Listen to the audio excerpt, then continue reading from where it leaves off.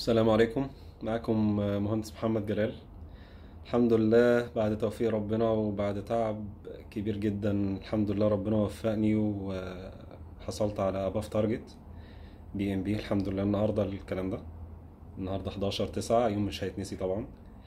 آه، أنا عندي كان عندي بس هي فكرة إن أنا عندي special case إن أنا كنت أنا واخد ال course ده من من شهر 9 2019 وحصل لي يعني حصل لي حاجات كتيرة جدا عطلتني الله أعلم بيها والحمد لله إن أنا كان عندي الإرادة.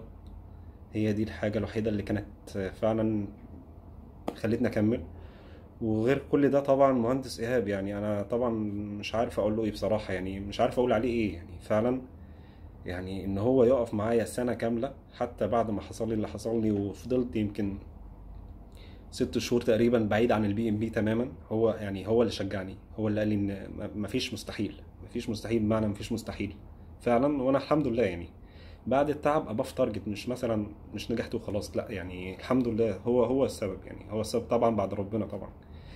الأسئلة سهلة لل- للي ذاكر كويس. ال- الامتحان خمسين في المية تقريبا مش أكتر يعني ممكن أكتر من كده. آه، نفس نفس الأسئلة بتاعت مهندس إيهاب. آه، بصراحة الله يجزيه خير. يعني بجد تعب معايا جدا وبجد أشكره جدا جدا جدا وده أقل حاجة الواحد يعملها له. فعلا ألف شكر يا باشمهندس.